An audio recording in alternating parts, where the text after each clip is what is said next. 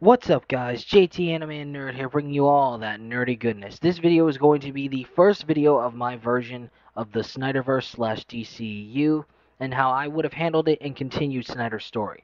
This is of course this of course is a Man of Steel rewrite, but it's mainly meant to keep what Zack Snyder wanted to do with Superman, just kind of taking mm, certain characters that weren't fully utilized their full potential or used at all and putting them in, in Superman and story, such as as the inclusion of Jimmy Olsen, Lo- in Lois Lane's intern photographer, and Lucy Lane, Lois Lane's sister. So, with all that explained, let's get into the rewrite. It begins with a Kryptonian couple. Jor-El stands by while his wife Lara Zor-El struggles to give natural birth to their son, but succeeds, naming their boy Kal-El. On the meadows of planet Krypton, it was as if the baby's cry was responding to the wildlife. As the sun sets, a shattered moon is present above the planet of Krypton. Kryptonian ships surround the capital city of Kandor, where Jor-El warns the Kryptonian Council of the planet's inevitable destruction due to the expenditure of its resources. As the Kryptonian Council asks for a greater solution from Jor-El, General Zod appears to take control of Krypton, killing a council member in response. Jor-El tries to reason with Zod, but Zod instead asks Jor-El to join him and eliminate the bloodlines he blames for this catastrophe, to which Jor-El refuses. While Jor-El is being escorted down a hallway by Zod's men, a Kryptonian drone appears to distract the men and give Jor-El a chance to retaliate. Jor-El contacts his wife and tells her to ready the launch. Jor-El go goes outside to find that Kandor has been turned into a battlefield leading to Jor-El to call down a winged Kryptonian beast for transport. Jor-El makes his way to the Genesis Chamber to acquire the Codex that gave Krypton its artificial life, a mysterious skull etched with strange markings. Zod's men attempt to take the Codex back from Jor-El by force, but fail, leading Jor-El to make his way back to his wife and child, but losing his flying companion H'Raka in the process. After reuniting with his family, Jor-El readies the Codex and plots a course for planet Earth, knowing what the sun will do to him and how the people of Earth will react. Lara tries to make excuses to keep Kal-El at her side, but Jor-El's words allow her to relent. After saying their goodbyes, Jor-El imbues the Codex into Kal-El's cells and forms the key to his ship.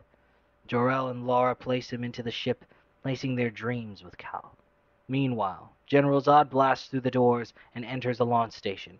As Lara gets the pod ready with Kal uh, ready to launch, Faora, Zod's second in command, tells Zod that an engine has been detected, leading Zod to realize a launch is happening as they speak. As Zod enters the launch station, Jor-El waits with his Kryptonian armor donned. Zod demands the Codex, with Jor-El claiming that Krypton has a ch second chance to thrive and reveals that, that they, they've had a child, the first natural birth earth of Krypton in centuries, which Zod calls heresy. Zod attempts to stop Jor-El, but Lara launches the pod despite Zod's pleas. Enraged, Zod kills Jor-El, and Lara can do nothing but cry for her husband. In response to Zod's demand and to know where the baby is, Lara simply tells him that Kal-El is beyond his reach. Zod attempts to have one of his ships destroy Kal's pod, but the Kryptonian Council's army stops him in the nick of time. Moments later, Zod and his crew are sentenced to be imprisoned within the Phantom Zone, but vows to Lara that he will find Kal-El. After Zod and his crew are transported into the Phantom Zone, Lara awaits the inevitable, telling her drone Kelor that, that Jor-El was right, that this is the end. Before dying in the explosion, Kara tells Kal to make make a better world than theirs. After Krypton explodes, Kal's pod eventually reaches Earth and crash lands on a farm in Smallville, Kansas. Years later, Kal-El, now named Clark Kent, is working on a fishing boat. Clark's almost hit by a falling fishing cage, but is saved by a fellow fisherman. The boat then gets word of an oil rig fire on fire, to which Clark, someone the captain refers to as Greenhorn, decides to act, act on his own and try to save the people on the oil rig. After evacuating the people, Clark attempts to keep the rig from getting destroyed from a falling piece of the rig, to which he succeeds, but gets put, pushed into the water below. unconscious in the water. Clark looks back to a day at school where his super senses were overwhelming him, leading him to hide in a school hallway closet. Clark hears the kids judge him while his mom tries to comfort him after she arrives at the school. Clark claims that the world's too big, and so Clark's mother, Martha Kent, tells him to make it get smaller and focus on her voice, allowing him to control his powers and exit the closet, giving his mom a big hug. Back in the present, Clark steals some new clothes and attempts to get back home to Smallville. Having another flash flashback, Clark thinks back at, to the day when his school bus caught a flat tire and fell into a nearby river. Unbeknownst to everyone, other than his childhood friend Lana Lang and his childhood bully turned friend Pete Ross, he saved everyone. And he also saved Pete from drowning. Days later, Pete eats Pete's mom tries to pry into Clark's family's business, telling Clark's parents about what her son saw, all pertaining to Clark's powers, and breaching them as an act of God. Meanwhile, Clark's dad, Jonathan Kent, tries to tell Clark that he needs to keep his powers hidden, and that there's more at stake than just the people around him.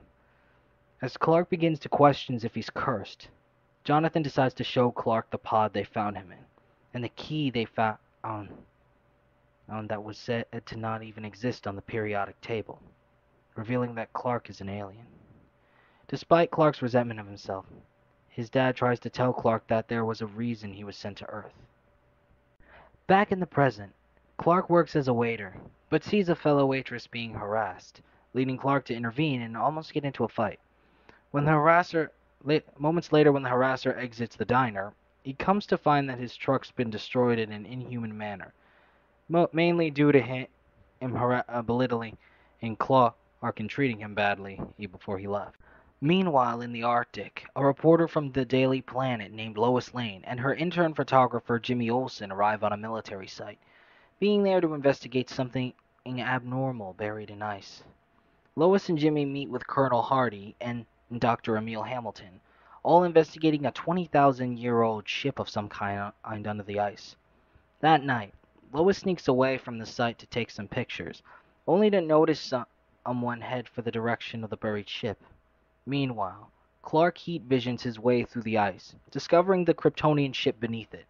Clark investigates and finds a panel for the key to his ship, and then inserts it, but not all the way, causing a Kryptonian defense drone to attack him. Clark shuts it down by inserting the key all the way in, but then sees what appears to be a familiar man down the hall. Lois Lane enters the ship, while Clark continues to investigate, seeing this man appear left and right. Just then, Lois encounters the Kryptonian defense drone while Clark finds a decayed Kryptonian body within a pod, as well as an empty pod. After taking a picture of the drone, the flash of the camera causes it to lash out and attack Lois. Hearing the commotion, Clark steps in to save her. After a slight panic, Lois calms down, and Clark checks to find a wound on her body. Warning Lois about the pain beforehand, Clark decides to cauterize the wound with his heat vision causing Lois to scream in a, in a great pain. Suddenly, the Kryptonian ship rises and flies away from the military site, revealing to Hardy and Emil that it, this was an extraterrestrial ship. Lois is later found on an iceberg, doing her best, and then, and then, and moments later, does her best to post the story of her encounter with the ship and the unknown man. However, Lois and Jimmy's boss, Perry White, deny the story, the story, not not wanting to take the alien thing seriously. In response, Lois and Jimmy do whatever they can and to find Clark. Meanwhile, Clark is somewhere else in the Arctic, now face to face with an image of Jor-El's consciousness.